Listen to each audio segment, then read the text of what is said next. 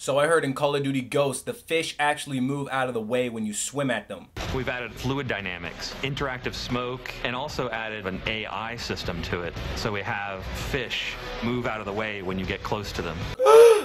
Move, fish, get out the way. Get out the way, fish, get out the way. Move, fish. By the way, guys, I didn't find the Mario clip. Some